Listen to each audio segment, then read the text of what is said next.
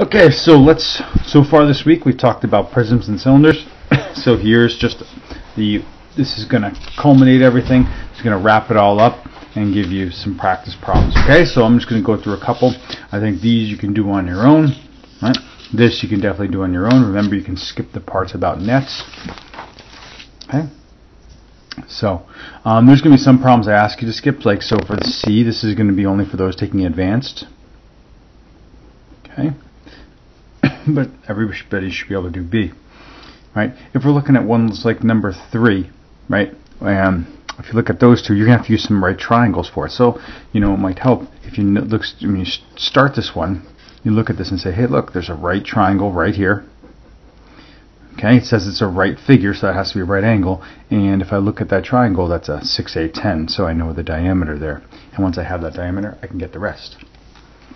Similarly for this one, Okay, you look at it and you say, I don't have the height. I have this slanted, um, this slanted edge right here. I'm sorry, this diagonal here, but I don't have the actual height.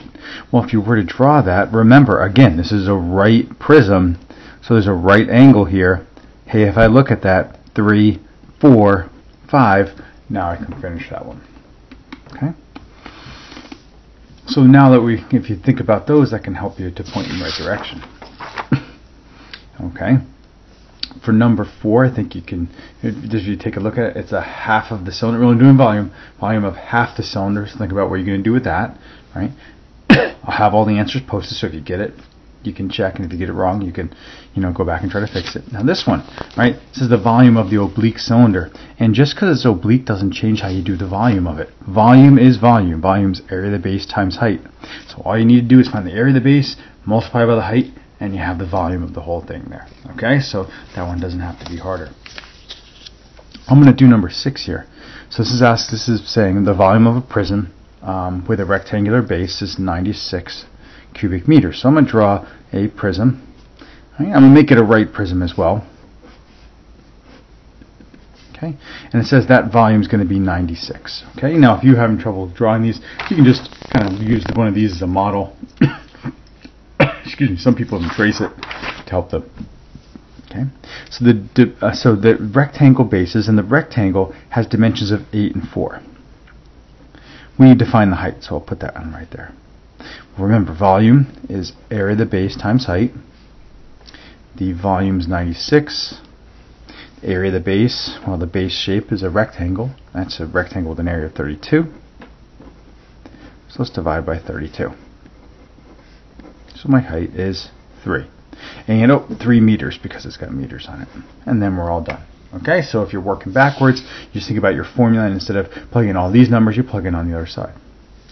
Same thing happens. So for number 7, you're going to do the same thing. You're just going to have to, um, after you find the height, then you um, find the surface area as well, um, given that it has the volume. So really that's the same, except the base on this one's going to be a square.